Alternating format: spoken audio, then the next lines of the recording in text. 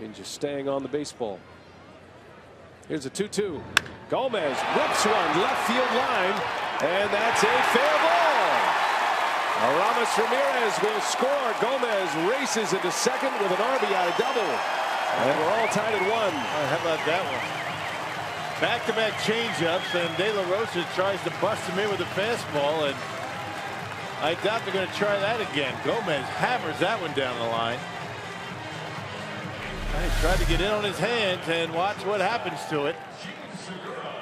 Gomez likes the ball in there. You can't throw it in too far. He keeps it fair and hits a rocket. One hop off the wall.